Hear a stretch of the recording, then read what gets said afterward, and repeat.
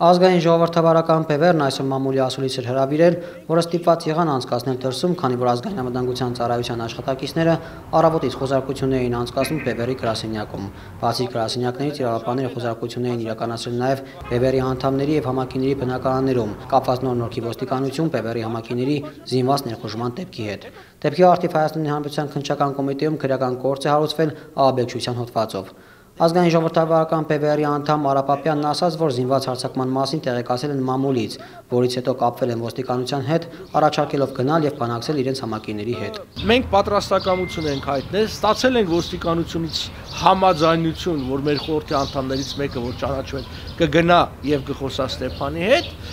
երբ որ ճանապարհին էր, արդեն մեր զանգից 12 րոպե հետո նրան վնասա զերծել են, դա էլ մի քիչ տարօրինակ է, այսինքն մի քանի ժամ չէին կարողանում, հենց մենք պատրաստակամություն հայտնեցինք, իսկ եղավ Պապյանն իրենց համակիների գործողություններ ապստամբություն որակեց։ Նման գործողությունները բնականաբար այս լարված վիճակում մարդկանց դրթում են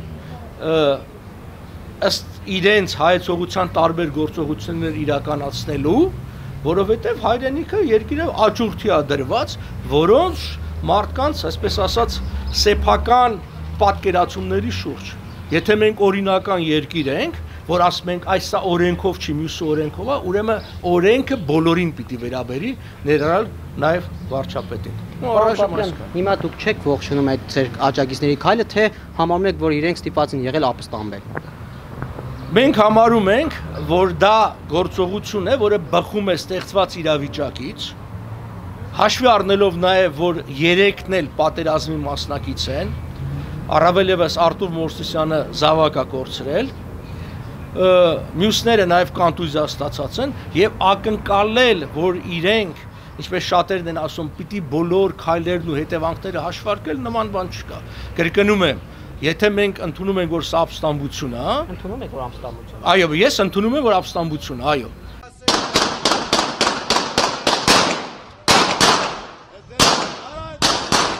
2016 թվականին Սասնացարերը իրենց գործողությունները եւս ապստամբություն էին որակում։ Նախկինում ընտրությունները կեղծվում էին, ընտրություններով հնարավոր չէր հասնել իշխանապողության եւ իրենց գործողությունները ստեղծված իրավիճակից որպես միակ ելք էին համարում։ Հեղափոխությունից հետո ընտրություններն այլևս չեն կեղծվում եւ ինչ կարիք կա գնալ այսպես կոչված ապստամբության։ Արապապյանը նկատեց, որ հեղափոխությունից հետո էլ ընտրություններով իշխանապողություն տեղի չի ունեցել։ Նաեւ պնդեց, թե 2018-ի, թե 2021-ի ընտրությունները կեղծվել են։ Այո, կեղծվել են 18-ն էլ 21-ին էր մեր ձայները կեղծվել են։ Պարզապես մեզ ասացին, այն որտեղ ստուգումները անցկացեցին, սա արդյունքի վրա չի ազդում, բայց այստեղ այդ չի կարևորը։ Կարևորը հետեւյալն է, չկա նախադեպ Հայաստանում, որ ընտրությամբ երբևէ որևէ իշխանություն համապետական ընտրություն պարտվել է, չկա։ 18 թվականին էլ են կեղծել, բայց ոչ այդ,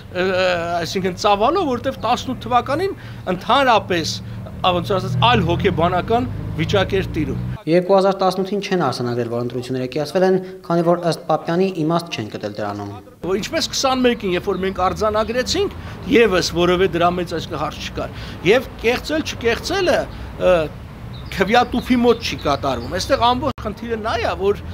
իշխանական լծակները այնպիսին են Հայաստանում, որ մինչև ընտրությունները ամեն հարց լուծվում է։ Դրա օրինակը Երևանի քաղաքապետարանի ընտրություններն էր։ Իշխանությունը ըստ էության չկարողացավ սայները հավաքել 50 եւ ավել։ Այո, բայց եկավ միևնույն իշխանության, այսինքն ինչ որ պետք էր իշխանությունը արեց։ Արապապյանը հրաժարվեց պատասխանել հարցին, արդարացնում են իրենց համակիների գործողությունները, թե ոչ։ Ես դատարան չեմ, եկեք սպասենք ես որպես քաղաքական գնահատական ասում եմ, երբ որ երկիրը աճուրթի է դրված, մարդիկ հանուն հայրենիքի ինչ ասեմ, տարածքային ամբողջականության բան իրավունք ունեն ըստ իրենց իրենց քայլերը իրականացնելու։ Իսկ Կարեգին Չուկասյանն իրենց համակիների զինված գործողությունները արտարացրեց երկրում տիրող աննորմալ իրավիճակով։ Հոգեբանության մեջ այսպիսի սկզբունք կա, որ աննորմալ իրավիճակին, երբ որ աննորմալ արձագանք է լինում, դա նորմալ բարք է։ Սա ես չեմ ասել, սա ասել է 20-րդ դարի հոգեբանական դպրոցներից մեկի հիմնադիրը Վիկտոր Ֆրանկլը Հայաստանում մենք կարող ենք հստակ արձանագրել, որ 20 թվականից հետո աննորմալ իրավիճակ է ստեղծվել։ Չուկասյանը նաև նկատեց, որ ոստիկանության շենքներ խուժած անձինք մասնակցել են 2020-ի պատերազմին, նաև կանտուզիա ստացել։ Մարդիկ, այո, տարբեր են լինում։ մարդիկ, որոնք կոնտուզիաներ են ստացել, նրանց ներվային համակարգը կարողա չդիմանալ եւ պորտկումներ, պորտկումներ լինեն։ Մենք պետք է հասկանանք, որ այդ այդտեղ ահաբեկչության գործողություն չի եղել։ Ուրիշ հարց որ այո, օրենքից դուրս գործողություն է եղել, բայց ինչու։ Ինչու ենք դուք բոլոր, ասենք, մեր մամուլի պետական միջոցներով խոսում, որ արդեն ահաբեկչական ա- գործողություն է եղել։ Թող դատարանը որոշի,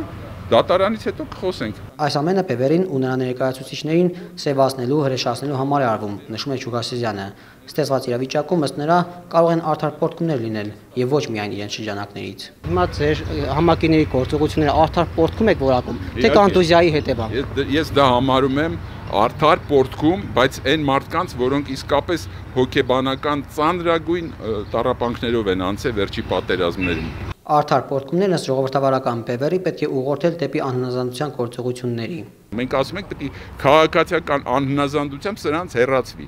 Սա մեր պաշտոնական խոսքը եղել եւ կա։ Արա Պապյանի բնականում եւս խոզարկություն է իրականացվել։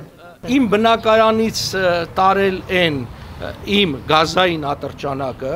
որը համապատասխան թույլտվությունը իհարկե ուներ, կար ուժի մեջ է, եւ իմ հեռախոսը։ Իսկ Շուգասազյանի բնակարանից հայտնաբերվել եւ արգրավել է Որսորդական հրացան որդուս պատկանող եւ դրա փամփուշտները։ Արգրավել տարել։ Արգրավել են եւ իմ հեռախոսները եւ